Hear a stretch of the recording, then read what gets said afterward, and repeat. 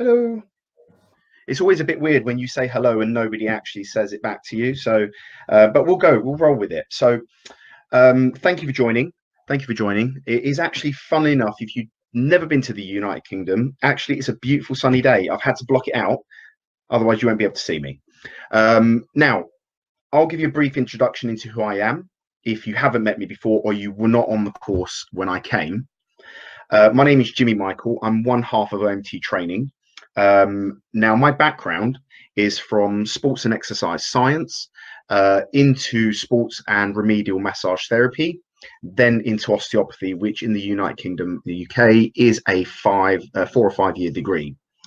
Um, now, what we're planning to do um, today is discuss um, certain aspects of manipulation into why we do it, what's the point, um, how we use it, what setting, and you guys will be able to at some point um, ask me directly some questions, and uh, hopefully um, we can get those answered for you.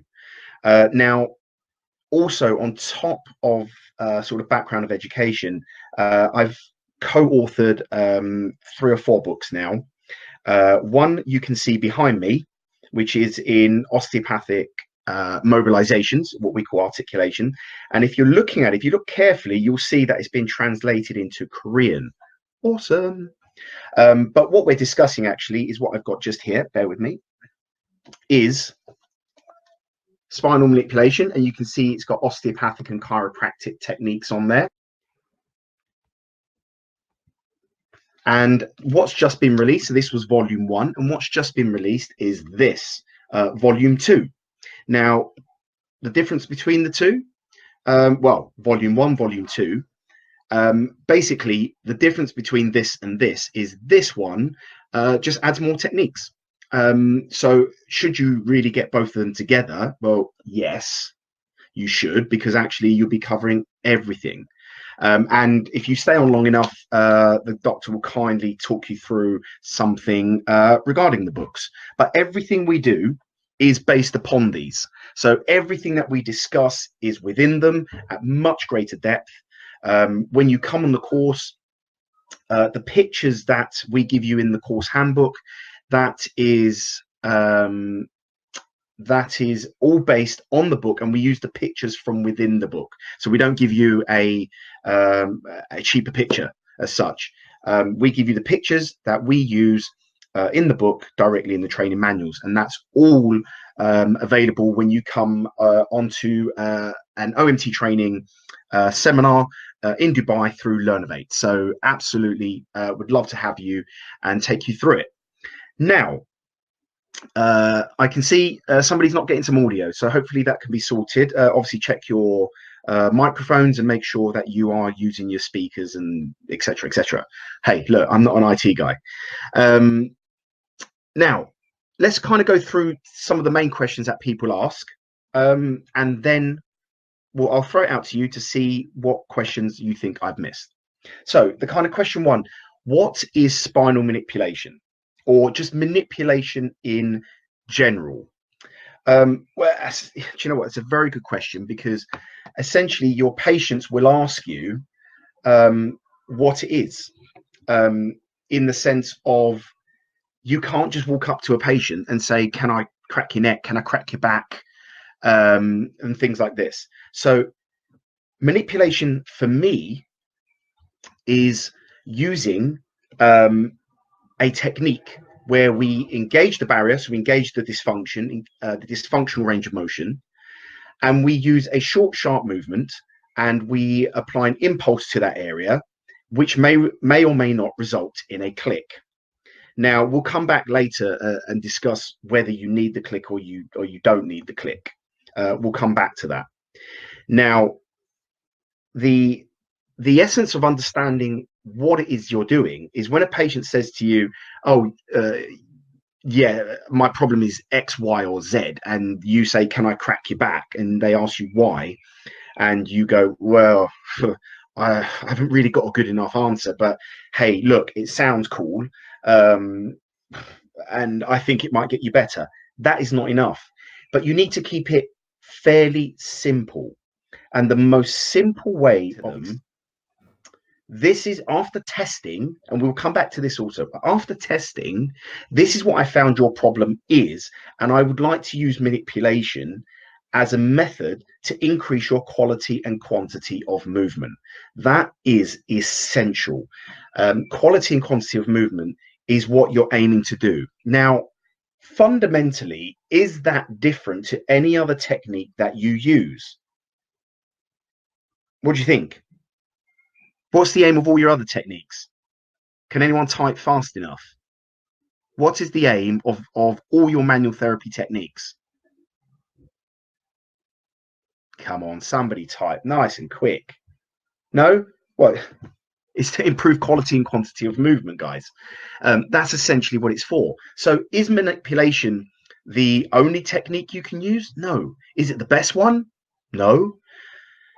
You need to understand that you can use any technique at any point in time that you think is best for the patient, not what you think is easiest for you. Um, it's more what you think will get them best better the fastest. Now what do we mean by better? What do we mean by better? We mean improving quality and quantity of movement. I know i can see some of you have put pain relief relieve pain. Yes oh, look that's essential but that comes under uh, quality. Improve movement that comes under quantity. But what happens if you're saying these to the patients and you don't achieve these through your technique?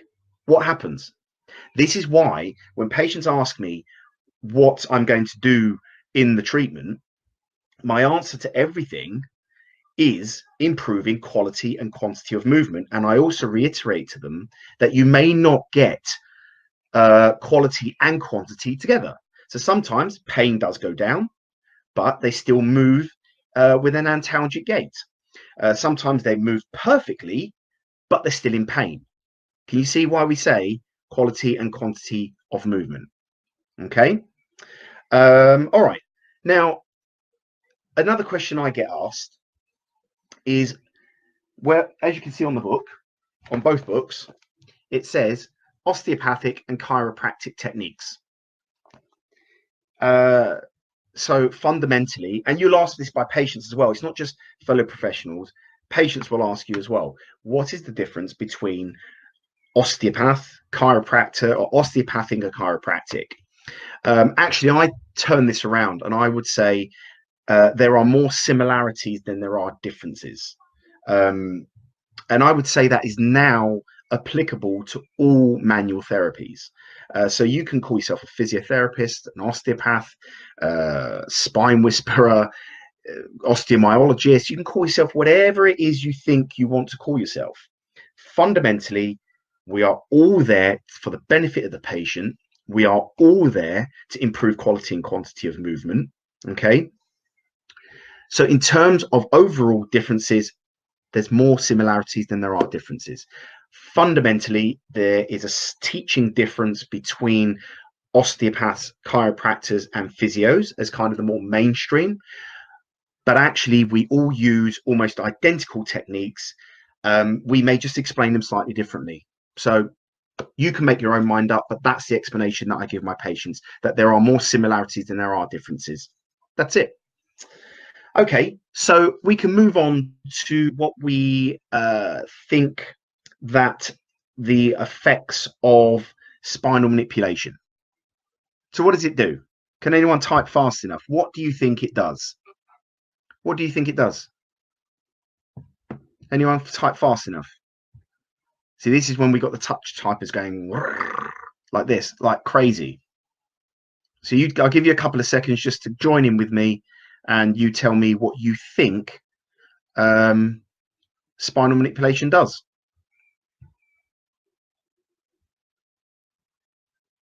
Anyone? Okay, so the classic, the classic form over the over the years, uh, you're you're talking about. I'm more talking about. Uh, some of you putting uh, movements, improved range of motion. That's the effects. I'm talking uh, what's actually going on within the body. So the most classic aspect of what people said uh, was going on with manipulations is that they were changing the position of joints, and that way um, they were eliciting the manipulation. Look, we've moved away from a biomechanical model. You know, in terms of we like to be evidence-based practitioners, um, and from the evidence, the evidence is showing us uh, see, look, someone's just put improved spinal alignment. The answer is no. The biomechanical theory of manipulation is at this point in time, I'm not saying it's impossible. I'm saying at this point in time, based on the research, it's fairly implausible in terms of actually having two joints that are misaligned and then you are aligning them. Okay. That doesn't really, uh, that is not really supported in the in the, the research. Uh, I can see someone's put a corrective of deformity. No, you're improving quality and quantity of movement. You are not changing the structural anatomical position of these joints. Okay, full stop. Based on the current research. Further from the research, the changes from manipulation are neurophysiological in nature. And this actually stands for all your manual therapy techniques. So whether you use myofascial release, massage therapy, uh, even if you use the, the, the guns, you know, that people are using, uh, chiropractors use activators. Anything that you are doing has a neuro, neurophysiological effect. And the biomechanical corrective aspect currently is not supported. But remember, I said earlier, I'm not saying it's impossible. And through further research, they may change that process. But at the moment, we have moved to neurophysiological, where you are affecting the ascending and descending inhibitory pathways. You are affecting the body uh, through the periaqueductal grey matter uh, within the spinal cord, through the ascending pathways, and then into the hypothalamus, relieve, uh, releasing, pardon me, releasing uh, your natural uh, opioids, so your pain relieving chemicals within your body. That happens with manipulation, and that is fairly supported in the research. So we need you guys, and this is how we teach. We we don't tell you you are correcting alignment because you are not. If you are correcting alignment, you would see people coming in, and I can't really do this um, on a on a on a webinar, but they come in like this, and you click them, and then they suddenly do this. Uh, I've seen in spinal that leg length discrepancy. Uh, that is uh, unsupported. Uh, the changes in leg length discrepancy that is changed. Uh, that is not uh, supported. Rather, sorry, pardon. that is not supported in the research. What this is being, and this is stuff that has been spoken about for years and years, and it was stuff that was taught to me when I was a student, and it still didn't seem that plausible. Um, now, if you are discussing this with uh, podiatrists, for example, uh, or depends where you are, chiropodists, podiatrists, very similar professions. Um, they they would not even begin to try and make changes with anything uh, uh less than a three centimeter uh, difference of leg length. So we're coming along as manual therapists. As I said, manual therapists can mean anything. Um, and saying, oh, you know, you have a couple of degrees of um, change here and your leg length is half a centimeter out there well actually it's not it's not well supported you know you have one foot that may be a half size bigger or smaller than the other one but we don't suddenly see people stretching each other's feet to try and make them aligned um, so we've got to be sensible and again, we want to be evidence based and evidence based practitioners. And, and currently, it doesn't support it. We are dealing with neurophysiological effects. Okay. And we go into much more depth in that scenario of what is happening through the afferent and efferent pathways, all in within these two books. So I suggest you get them. Uh, okay. So, uh, we've kind of covered why you use it, and you'll hear me saying over and over again, you're improving quality and quantity of movement, and you are not, not, and I stress you are not, uh, correcting deformities. Okay. Now, when it comes to um, uh, correcting function, guys, you're the physios. What's the magic word within physiotherapy? What do you guys do more than any other profession? What do you give to your patients?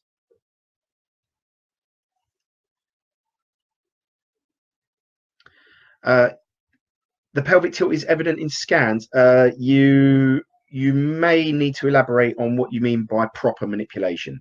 So we'll come back to that. Emre, my man, well done. Well typed first. Exercise. Fundamentally. Full stop. Exercise. Movement is medicine. Okay. Now, when it comes to these misalignments and structural misalignments, okay, uh, can you tell me the name of the book? Osteopathic and chiropractic techniques for manual therapists. Okay. When it comes to correcting things, it is exercise. Uh, Jose, yes, my man. I'm saying my man. I'm just assuming. Uh, manual techniques followed by exercises. Yes, we we have this saying in, in our clinics and in our teaching 75% of your therapy should be done off the table, not on it. Does that sound? If I just said something that's um, profound, um, because it's not. It's not profound. Exercise is a fundamental key to function, and as as we as osteopaths would say, structure governs function. If the structure is not does not have a good quality and quantity of movement, then the function will be decreased. Simple. Okay. That's why when my patients come in, I'm fully turning, I, I'm actually discussing with them and qualifying them to tell them that they have to have an active participation within their therapy. So, what I'm not going to do is basically kind of just go like this and give them a sheet of exercise. They will get a lot of hands-on manual therapy, but they will also get a lot of exercises that are relevant to improving the quality and quantity of movement and also their structure to improve their function. Okay, that is what is absolutely fundamentally key. And that's what I want you guys to be doing. You're doing it already. You know the exercise stuff. You just need to make sure that you are giving them the manual therapy um, intervention as and when it's needed. Does that but flip that round. Am I saying you have to rub and crack everything before you give exercises? No, that's not what I'm saying. If manual therapy is not warranted at a particular patient, so for example, you've decided that patient has come in with a um, a shoulder pathology, and you don't think manual therapy is the, the appropriate intervention, then go, go straight to the exercise but I don't see I don't see what I've just said as profound. I think that's common sense. I think what's what's being lost is the what's being lost is the ability to mold the two together. What I hear a lot of is therapists saying, um, I do my exercise therapy and my manual therapy. Why have they been separated? That's my question. That's my question. And within our teaching, we are constantly, constantly mixing the two together to say that you should be looking at this from a manual therapy point of view and also an exercise point of view. And if your weakness is manual therapy, fine. There's lots of courses you can learn. When I mean manual therapy, manipulation, soft tissue work, myofascial release, um, whatever you want to call it, any other techniques you can think of. But then exercise therapy covers a whole range. It's not just resistance. It's not just throwing weights around. It could be TheraBand work, um, uh, flexibility improvements. Um, I'm more of a. Uh, I like to get my patients moving their body as a whole because that's really what it's designed to do. But if they have, um, what's the word, uh, movements that are not in line with what they should be doing, then I may break that down into smaller planes of movement to improve that to then move on to multi-joint movements. I personally I'm a bigger fan of multi-joint movements than narrowing down individual movements, but sometimes that's warranted. And as a therapist, like any other professional all over the world, you've got to be flexible. And being flexible, not from a bend your hand around your head. I mean flexible to step off from your patient and say, what is it they need? Do I need to crack them? Do I need to give them exercises? Can I get them doing compound exercises? Can I get them? Do I just need to do one or two manipulations? The more flexible you are in your techniques and your thought process, the better the outcome to the patient. Because fundamentally, pa patients vote uh, for therapists with their feet. What I mean by that is if you're a good therapist, people will stay with you. If you're a bad therapist, your people will stay with you for a short term, but you're not going to get results and they leave. Okay. Um, okay. Let's talk about the click. So fundamentally, do you need the click? Answer me, guys, as I take a sip of my tea and look. It may look a bit background to you. J for Jimmy. What is the click? Can anybody type fast enough? And the second question that comes from that, Emre, what did I say no to? Do you need the click? Is that what you're talking about, my, my, my friend? Is that what you're talking about? I, I, if you're talking about, if you're answering the question as no, do you need the click? I would agree, fundamentally, but also, also, I'm actually going to disagree. You do need the click. We'll come back to that. But why am I saying no? Look, I've just I've written two books on clicking people, and I'm telling you, you don't need to click. What I'm not saying to you, because people sometimes misunderstand when I say that. What I'm not saying to you is don't do the technique. What I am saying to you is if you do the technique and you don't get the click, it doesn't mean it hasn't worked. So let's just talk about what the click actually is. Now, what the click is, is a change in the pressure gradient within the joint. Now, then what that does by changing the pressure gradient in the joint, it moves synovial fluid around much faster, lubricating the joint. And by lubricating the joint, you desensitize the nociceptive pathways surrounding that synovial joint. Perfect. So on one hand, I'm saying to you, you do need the click. On the other hand, I'm saying you don't need the click. Actually, putting the patient into the position for the manipulation may actually be enough to change the pressure gradient in the joint, thus improving synovial fluid movement, decreasing nociceptive pain, and ideally, what did I say earlier? Improving their quality and quantity of movement. So if you do a manipulation, for example, and you actually complete it, so you know you do the short, sharp movement, but you don't hear the click. What do you do? What you I tell you what you don't do, you don't smash up the patient, another 15 goes until you get the click. I've seen that before. How many of you have seen that? I've seen that loads of times. I've seen that from lecturers that taught me when many, many moons ago.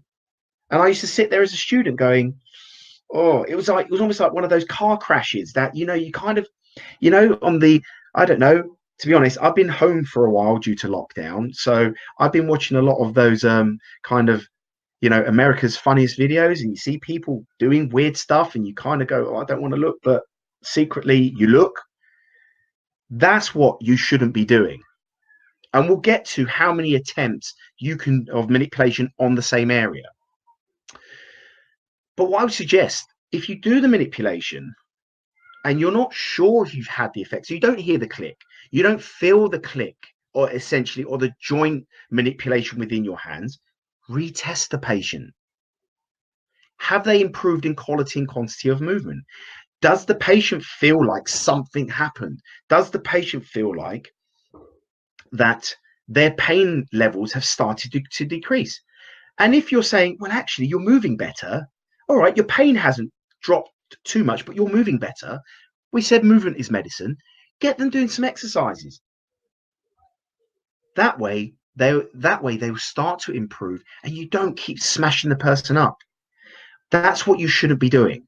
So on that, how many attempts can you do to the to the particular area? To the particular area. How many can you do? How many manipulations, guys, would you attempt to the same area? Can anyone give me a number? Anyone? Have a go. There's infinite numbers in the world. You just need to say one of them. And I'll give you a clue. It's not a thousand. It's a little bit south of, of a thousand. Actually, we say two. So what we mean by two is on the same area. Let's say you are uh, you're aiming for C7T1.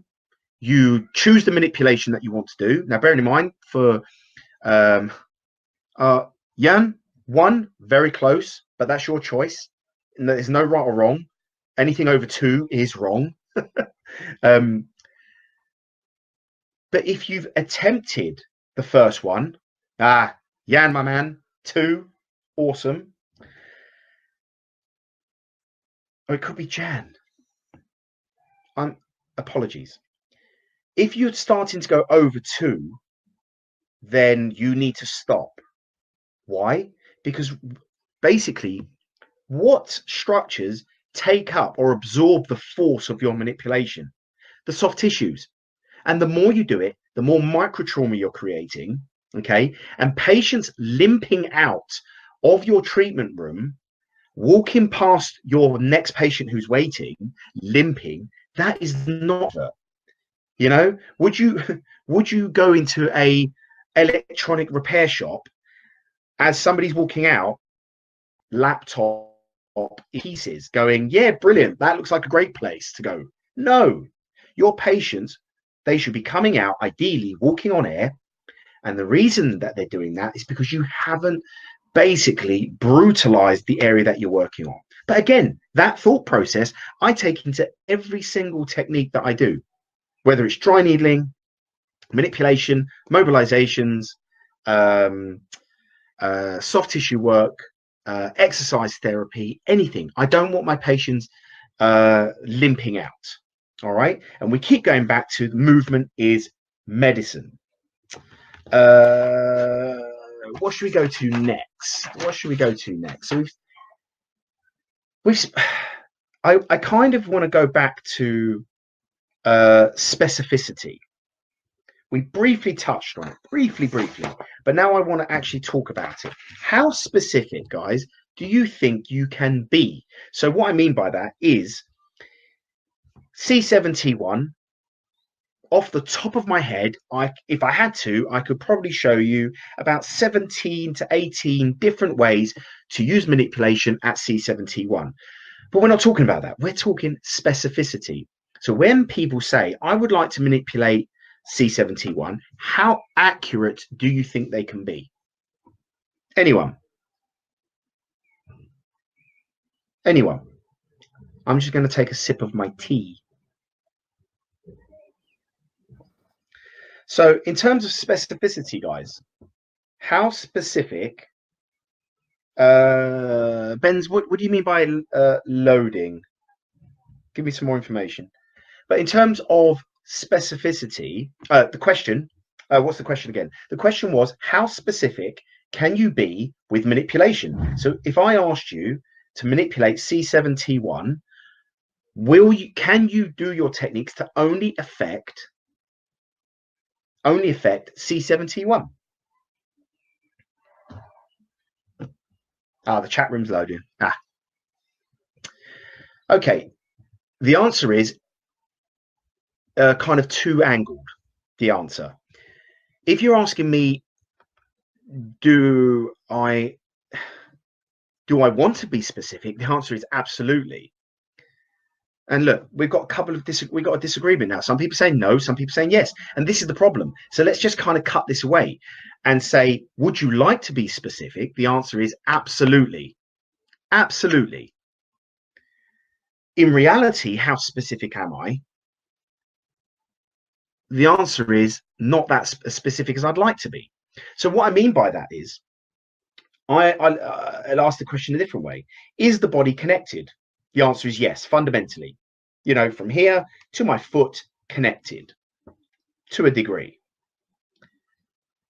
So if I use manipulation, segmental specific, then my aim is to be as specific as possible.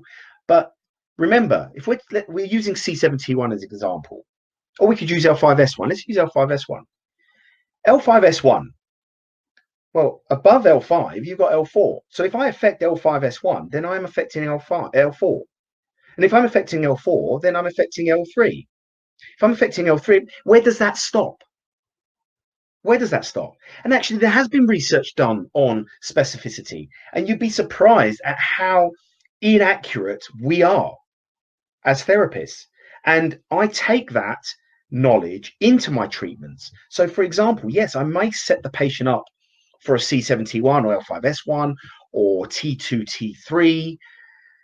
But in reality, I'm thinking, right, above and below, left, right, front, back, how how am I affecting that area? So, for example, if somebody has an L5S1 fusion, how close will I get?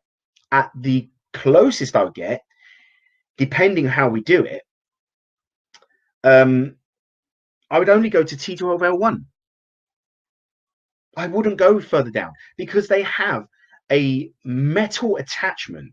Can you damage it? Theoretically, yes. So why would you try? And it's this lack of specificity that we have to admit that we have when we're doing manipulation. But the intention is to be segmental specific.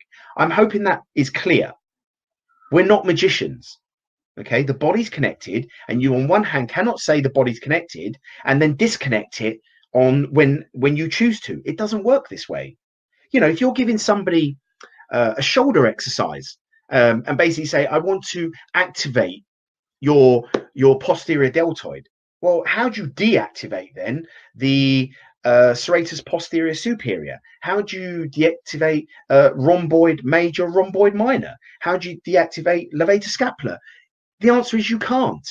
So you cannot have your cake and eat it. You need to appreciate that the body's connected and use appropriate techniques and appropriate force. And that is what we discuss on the courses specificity, uh, force. We discuss this, and less is more. Uh, the question somebody's asked correction for spinal scoliosis, which direction should we give? Um, very easy question. Uh, very sorry, very easy answer you cannot correct scoliosis with manipulation. So I'm sorry if I've just dashed your uh, your thought process there, uh, sir, uh, but you can't do that. Um, the best evidence for scoliosis of any form is actually fundamentally is exercise. Uh, I'm not saying you cannot use manipulation above or below, left, right uh, of the scoliotic curve, but you cannot correct scoliosis with manipulation. That even exercise doesn't correct it. What you're doing is with the exercise and the manual therapy is improving the quality and quantity of movement, improving the um, uh, uh, fatigability of the muscle surrounding muscles around it, and just giving them as best quality and quantity of movement as you possibly can. But you're not going to correct the scoliosis.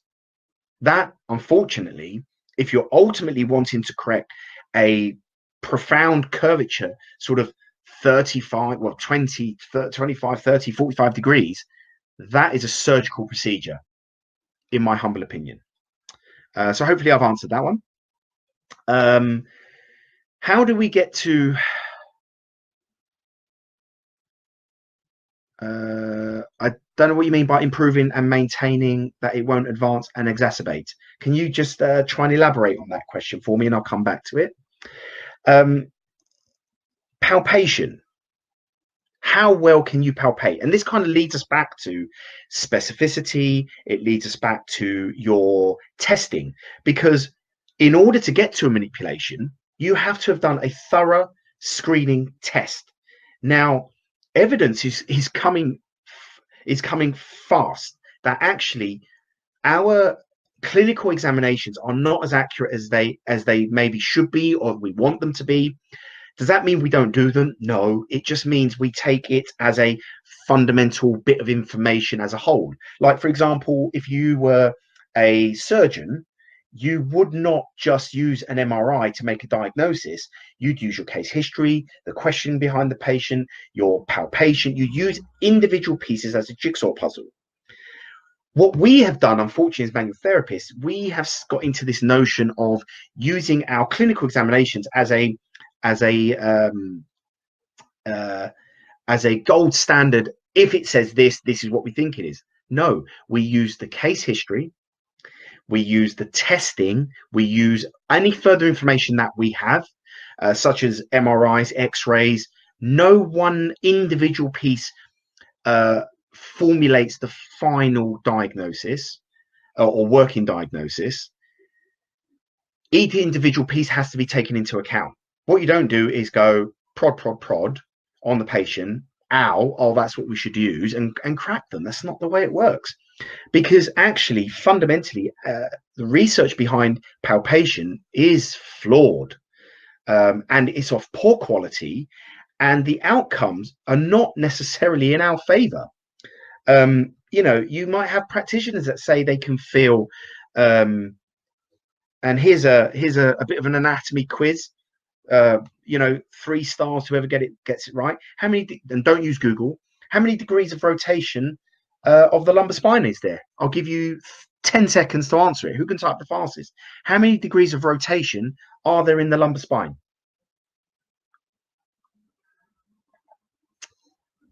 Come on, guys chop chop. You must. It's you're not using many numbers. How many degrees of rotation? Five in total. Rotation, my man. Rotation. Five. Five degrees. Not 45. Five. Of rotation. Five degrees. Okay. Basically, approximately one degree of rotation per segment. Now, do you honestly believe that you can palpate the difference of one degree from one segment to the next? Maybe you can. I'm not sure that most people can. Um, and who's to say that, let's say you decide L4 is incorrect, or is, you know, if you've decided due to your skillful palpation that you've decided L4 is dysfunctional, my argument to you would be, what have you decided that against? How have you how do you know that L4 is not the one that's in the correct anatomical position and L5 and L3 above and below it are incorrect?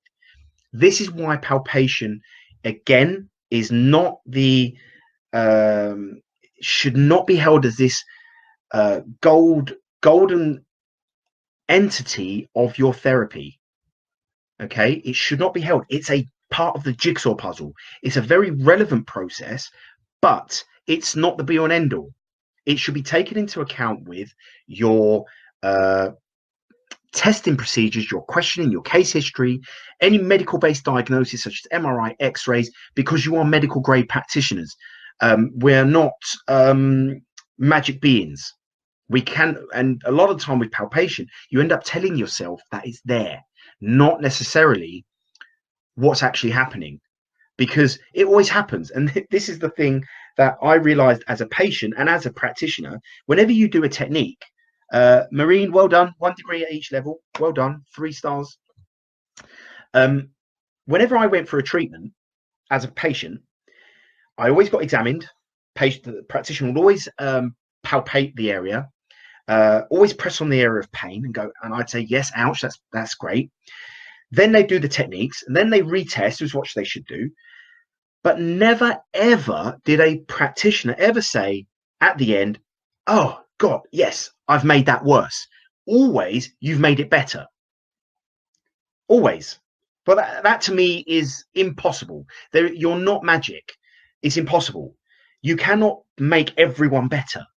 And that's what got me thinking, even as a patient, I said, this cannot be true. Every time you do something, it's a positive effect. That can't happen. And this is why motion palpation is is flawed. I didn't say irrelevant, it's flawed. And you've got to understand what you're taking from it. And actually, uh, Giles and I, we are in the process of uh, doing further research into motion palpation. So keep your eyes peeled, and uh, we'll be um, trying to get that out as quickly as possible. Um, okay, uh, we've touched on a few of the next one. Mistakes therapists make. Um, they don't test, massive mistake, uh, and and and and an unethical mistake. Um, they use too many manipulations. So how many should you be using? I go on the basis of all my manual therapy, all my uh, therapy in general. Less is more. Uh, I try not to use more than two different techniques uh, around affecting the same area. Um, I don't crack people's neck at every appointment. Uh, you know, somebody comes in for a foot problem and they get their neck cracked. That's not therapy. That's just doing whatever the hell you want to do. That's not what it's about. It, your technique should be relevant to what you're doing. But two, maybe three at the appointment should be more than enough um, because you run the risk of uh, over. We can use the term overstimulating, uh, traumatizing the area, creating too much um, soft tissue trauma. Because your patients should not be spending three days recovering from the treatment that you have done to then spend another three days recovering from the problem that they came in with for you to try and fix.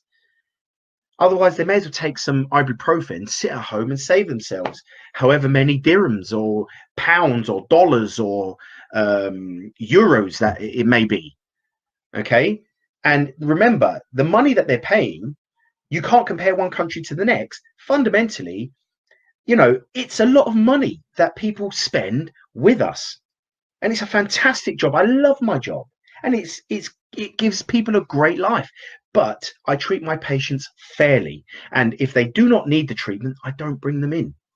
So, on that, how many another mistake practitioners make, therapists make, is they overtreat. So, how many treatments should somebody need? Again, we have a we have a rule. Um, it's a clinic rule. It's a it's a, a, human being to human being rule.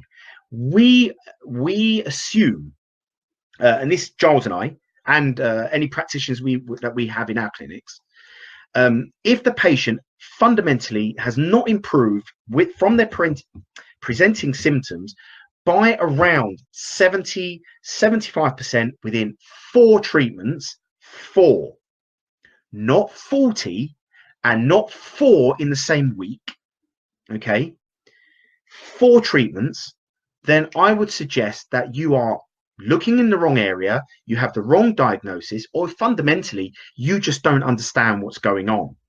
Okay. Now, again, there are caveats to that.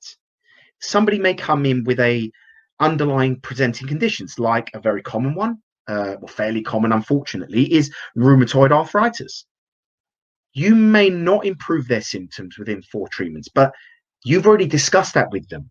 Somebody who's diabetic, the fundamentals of the blood flow issue of diabetes may slow down their uh, their uh, improvement speed. But again, you've discussed that. I'm talking about patients who come in with no diagnosed underlying conditions, nothing that you think is there. Um, they should be improved by around four sessions back into an exercise uh, rehabilitation program uh, which doesn't have to be extensive, or back in the gym if they're a gym goer, uh, very, very quickly. After four treatments, they've got a few options with me. Uh, they either go back to their general doctor, they may need further discussions. We may refer them directly uh, for imaging, such as X ray, ultrasounds, MRIs. And I appreciate different countries work in different ways. So, you know, your direct access will be slightly different, but, you know, I'm giving my point of view on what we do, and you've got to mold it around what works for you. Um, or uh, we fundamentally refer them back uh, to their GP, to, uh, their what we call the general practitioners in the UK, uh, their general doctor, family doctor, um, who can then refer them to appropriate specialist, maybe a rheumatologist, uh, maybe an orthopedic surgeon, um, brain surgeons, yeah, whoever it may be. If it's not, if you're not the appropriate person, they need to be going in the right direction. Full stop. Okay. And the reason that I say it like this is because I get patients now that I haven't may not see for five years, and actually maybe uh, before all of the the COVID problems. Uh, I had actually had a patient who I hadn't spoken to, uh, I don't know, in about six years, ring me up and say, "Oh, Jimmy, I've got this problem. Um, and luckily, because we've got all everything, everything electronic, went through his notes and said, but you have this underlying condition. Oh yes, I forgot about that. Well, don't shouldn't you go back to your doctor to check that over? He checked it over. Two weeks later, he rang me back saying, "Thank you very much. Um, my doctor's given me the appropriate medication to solve that. Uh, my symptoms got better. Um, thank you very much. Job done." And that is what we call overarching healthcare. Okay, it's not just about somebody coming in and you fundamentally just cracking them. There is a bigger picture to uh, your therapy and manipulation. Uh, any other therapist mistakes? I think I've kind of covered the ones that really, really stand out um, from there. Uh, how much manipulate? A question people ask me: How much manipulation do I do in a treatment? Um, as, as I've already said, less is more in terms of uh, in the treatment. Uh, probably no more than two, maybe three uh, as a whole percentage across my patient spectrum, I probably use manipulation uh, about 75% of the time. It's extremely effective, but again, clearly not effective for everyone. So just remember that. Um, a question uh, people keep asking is Can you use manipulation on children? Yes, no, maybe. Um, uh, Ben's therapist trying to do all the techniques in a in a patient. Uh, yes, uh, we've I think we've fairly discussed that. How many frequent can manipulation sessions be in a week? We'll come back to that. Hold fire. Um, can you manipulate children? In short, the answer is yes, no, maybe. Should you? Uh, well, look, if we're going from a research base, there's not for me. There's not enough research on uh, manipulation with children. So when I mean children, I mean uh, again, depends on what country you're in, the classification of a child. Uh, I would be extremely reluctant to use manipulation on anyone under the age of uh, 16. Uh, the reason being, we don't really know fundamentally yet via research the effect of manipulation on growth plates. Um, we would assume that it's fine, but there's not enough. So I would suggest manipulation being done on children at the absolute last resort. And what I mean by that is you've gone through a thorough case history, you've tried your manual therapy techniques, you may have even referred them for imaging scans, and everything comes back negative. I would then think about using manipulation. I will use mobilizations, uh, stretch based therapies, uh, exercise therapy, myofascial release, everything before I use manipulation. And the reason I say that is because that's how I'd expect someone to treat my children. Um, and that's how actually I treat my own children if I need to. Um, manipulation is the last resort. But I'm not saying it's not applicable. It is applicable. You can use it, but it's the last one. Um, what are the absolute contraindications for manipulation? Uh, fundamentally no different to all your other manual therapies, and we cover those more in depth. Um, there are generic contraindications for all manual therapy, any technique, but we cover those more in depth on the course, uh, which I would probably say you uh, should be coming in September. Um, and I would stress that you get the book as well because we cover those more in depth. And it'd be impossible for me to give you a list, and it's not relevant just to give you a blanket list. Um, a lot of it is common sense. You know, like if your leg's falling off, you're not manipulation's not going to to help. Um, but on a more serious note, um, an easy one uh, if somebody has rheumatoid arthritis and uh, they you assume it's a flare up of their condition, don't use manipulation. Full stop. All right, but we cover those more in depth. Are there any treatment protocols? No, apart from test, treat, retest. Uh, many dentists, TMJ pain unit does manipulation. Actually, we're in the process, uh, Rakesh, my man, uh, we're in the process of writing a TMJ uh, seminar and that is very close to being finished. Uh, so the answer is yes. There's loads you can do, uh, external, in and internal also, in line with working with the dentist. So yes. So keep your eyes peeled, um, and you never know. We might even bring it to uh, uh Dubai with Learnovate. Um, what will kids really cooperate with manipulation? Yes, you'd be surprised. Uh, it's a bit like one of those when you're in pain or you have discomfort. It's surprising how um, cooperative you become. And actually, uh, it's working in pediatrics. Uh, if you're a pediatric physio, you will understand what I mean by this. You get a different skill set to be working with children. Um, and there's different ways uh, that you have to approach it, and it is a whole different re- uh, course remit in its own in its own right. Hence why when it comes to the courses, we mainly talk about uh, patients from 16 and above. Okay. Um, I think that's it from me for now. Uh, I'm happy to answer any questions. Where was that question that I said I would come back to? Uh, how frequent can manipulation sessions be in a week? I think we've answered that. Um, I tend to treat patients more, no more than once a week. Uh, if they're extremely acute, um, you are, um, I would say, maybe uh, twice in a week at absolute maximum. I don't believe in the treatments where they say you've got to come in three times a week for the next six weeks. Uh, you know, and you're spending about a million dollars on your treatment. I wish that was the case. Uh, to be honest, I'd be sitting in a much bigger house than I am currently if that was the case. Um, but look, once a week tends to be more than enough, and your treatments should be trying to be different each time. So just rubbing, shaking, and cracking is not that's not therapy. That's painting by numbers.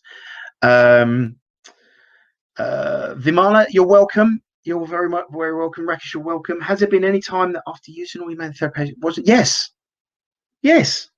I'm not magic. I'm extremely good looking. That is the truth. But, but I'm not magic. I don't fix everyone. I've there are times where I've made people worse. Um, and that's actually a good question. Have I actually ever hurt someone seriously with manipulation? No. The the the hurt to the hurt main hurt is to my ego when people don't get better because obviously I think I'm the best therapist in the world, and the reality is um, I'd like to think that it, I maybe I am, but the reality is I'm probably not. Um, so that's the downside and that's the problem the hit on my ego uh, but yes mainly the, the worst thing is is that they haven't got better.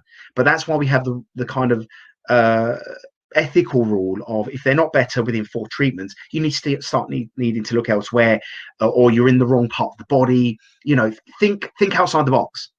Um pratik has there been any time that I've, oh sorry i've said that one. Finally what is which technique is my favorite? Ah. It's not per se a technique. There's two answers to this.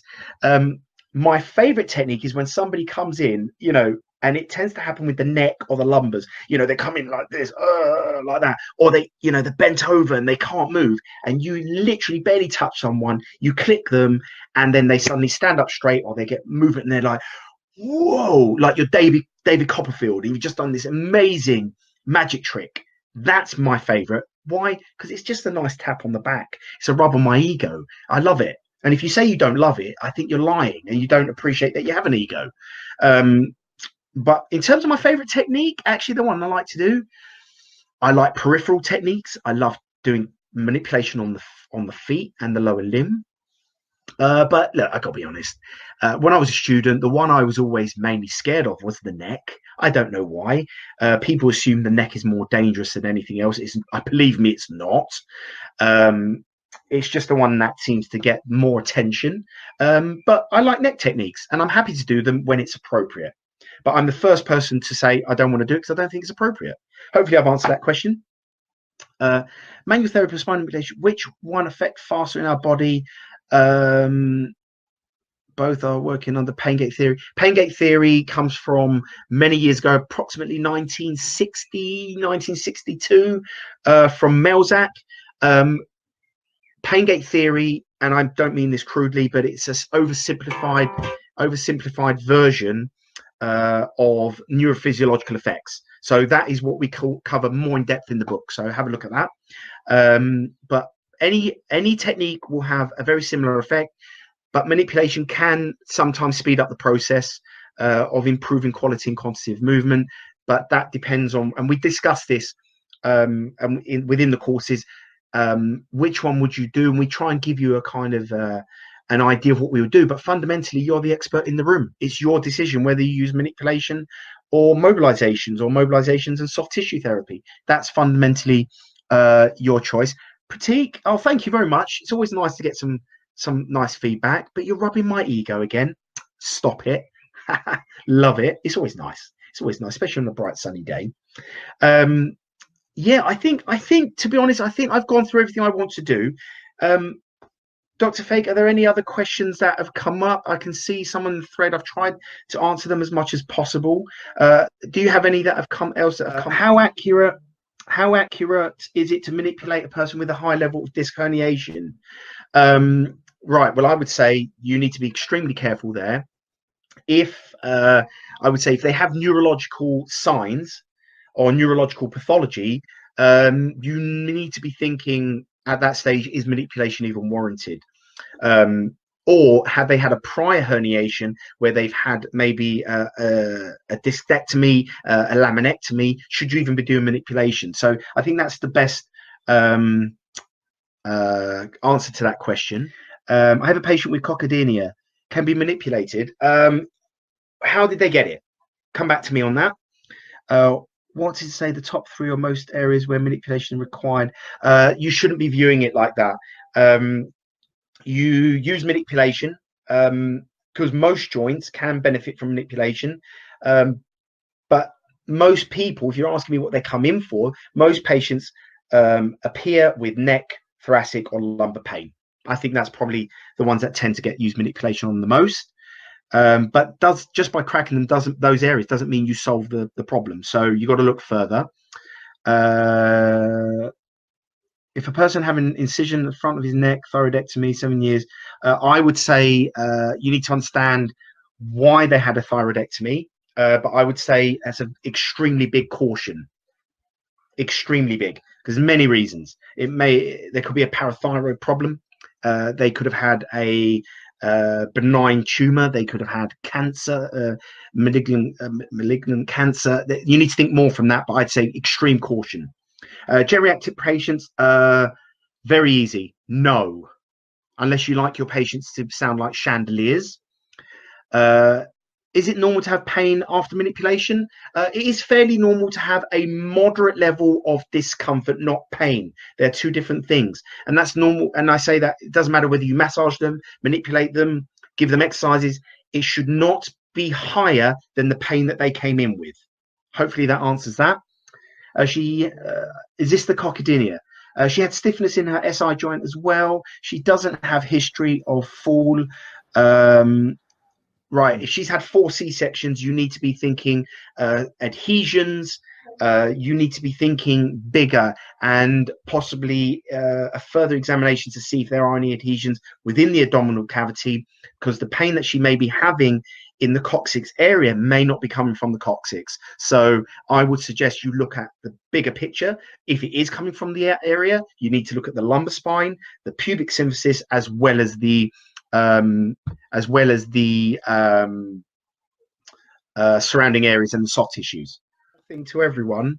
Uh, I, I, really appreciate your time uh, that you've spent listening to me. It's always uh, extremely humbling to me, uh, for me, that people listen to anything I say. Uh, I, I, I, do tell my wife and my children to do the same, but they don't listen. Um, the main thing I want to uh, say to you guys is in the time that is going on globally, I, I need you guys to stay safe, stay well, um, if you need to stay home, stay home. Uh, spend the time enjoying yourselves and your families and, and things like that. But mainly, take this time, like I've done, uh, to actually go back and read. And I've been looking at a lot of anatomy books and remembering things that I had to remember many years ago that I've forgotten.